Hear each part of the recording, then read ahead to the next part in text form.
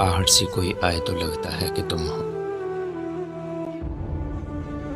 साया कोई लहराए तो लगता है कि तुम हो।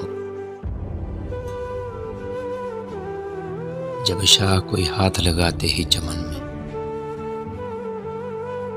शर्माए लचक जाए तो लगता है कि तुम हो। संदल से महकती हुई पुरकैफ हवा का